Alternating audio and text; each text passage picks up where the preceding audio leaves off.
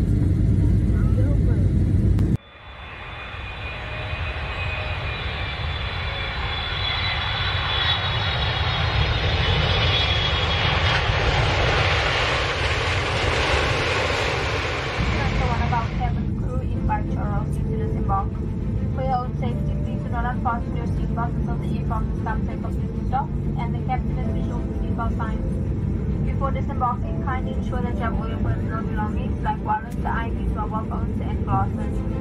Please be careful when opening the equipment as your hand luggage may have been moved during the flight.